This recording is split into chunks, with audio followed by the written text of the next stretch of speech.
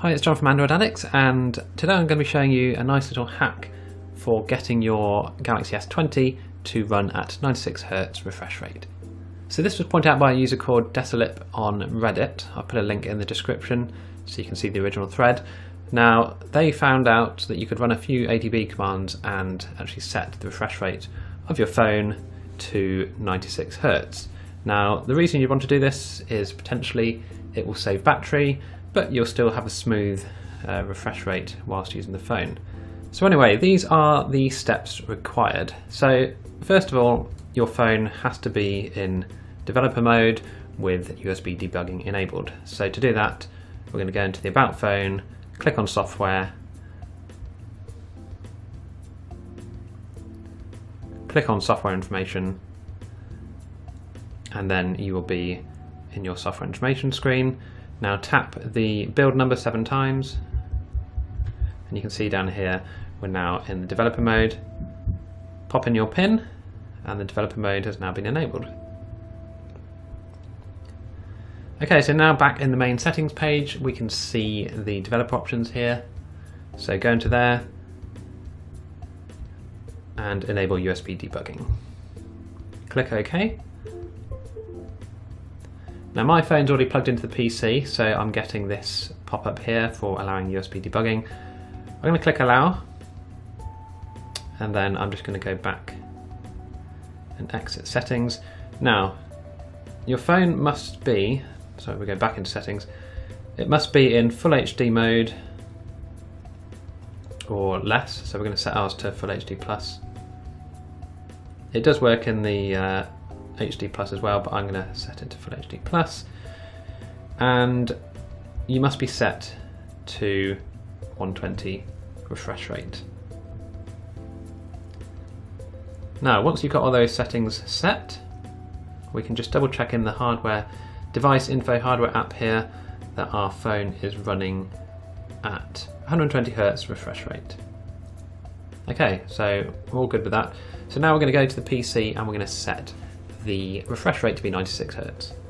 Okay, so what I've done, I've actually made a little script here which will set this for you. Now you can just run the commands manually, those are in the description of the video, but it's a bit of a hassle to download the tools and get everything done. So I've put everything in this nice handy little folder which you can download. There's a link again in the description, which takes you to my site here and you can just download them from Mediafire if we just have a quick look, when you click on the green download link, you can download the zip file. Okay, so once the file's downloaded, you double click on it and just drag this out onto your desktop or somewhere where you can easily see it. Now I've already done that and this is the result.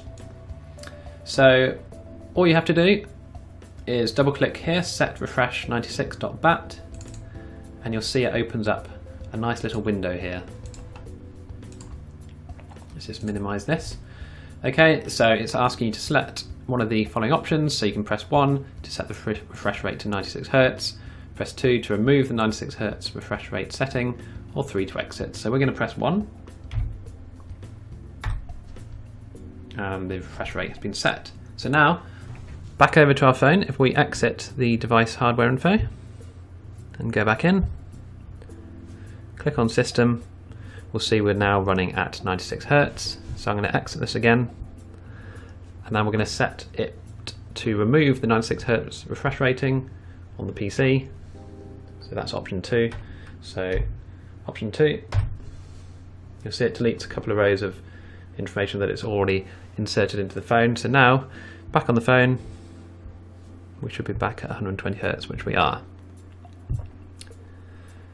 Now, if for some reason your phone doesn't have USB debugging enabled or something, you will get an error message. I'll just quickly show you. So if we exit that, I'm going to just unplug the phone. I'm going to try running that again. Okay, so we've got an error message here. The phone isn't connected, and we know that. So we're going to plug the phone back in.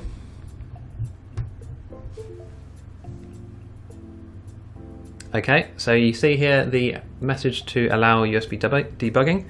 If I try a retry here before clicking that, it won't work. So I'm going to click allow here, And then when we click retry, it will now function properly. And we can now set the refresh rate back to 120. Oh, sorry, back to 96. So I tried to put a bit of uh, error handling in there just to try and make it easier for people. And yeah, I hope it helps out. Now, before people start saying this is a virus, I'll just quickly take you through the script. Okay, so this is the script that you double click on. So there's nothing fancy going on here. We're just clearing the screen, setting a few different variables here, and then we're going to build the menu system. This is the menu here. So these just allow you to select the options. So if you press number one, so if number one is pressed, we're going to set the 96. So what we do here, we actually first set the refresh rate to mode 2, which puts it in 120 hertz mode. It must be in this mode before it allow you to actually step down to 96. You can't go from 60 up to 96, that doesn't seem to work.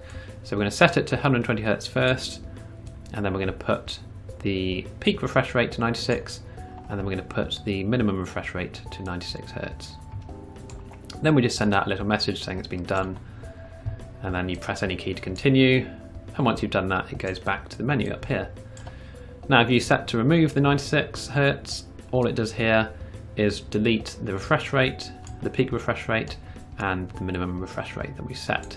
After it does that, it just says a little message saying, okay, setting being removed, waits for you to press a key, and then goes back to the menu. Now, if your phone isn't detected, this is what happens. There's a pop-up message saying that the phone can't be found. This is basically the message box here, which gets created in a file called temp.vbs. If I disconnect the phone and just run the file here, you'll see that temp VBS gets created. That's just so we can create this little pop-up box to make it uh, a bit more user-friendly.